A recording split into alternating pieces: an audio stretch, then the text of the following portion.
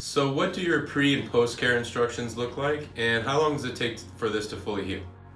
So we always remind clients this isn't a surgery, okay? It's pretty simple. It's not really about healing. It's more about, you know, uh, this settling in, post-care, pre-care instructions, stuff like that. So your pre-care is basically just, you know, most people, we ask them to shave your head, their heads.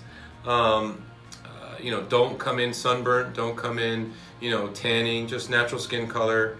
And that's it for the pre-care. For post-care, you know, you typically just don't want to sweat uh, for three or four days. You don't want to wash your head for, you know, three or four days. Let this settle. And, you know, that's it. By the fourth, fifth day, you know, you should be able to go back to normal. And, you know, with that said, you know, you can still, the next day, you can still you know, the day I got mine done, that that night I went to dinner. So you can still go to work, you know, if you're in an office, you can still do, you know, most things normal people do. This isn't going to put you down. It's not a surgery. You know, there's no downtime. You know, there's no pills needed. None of that.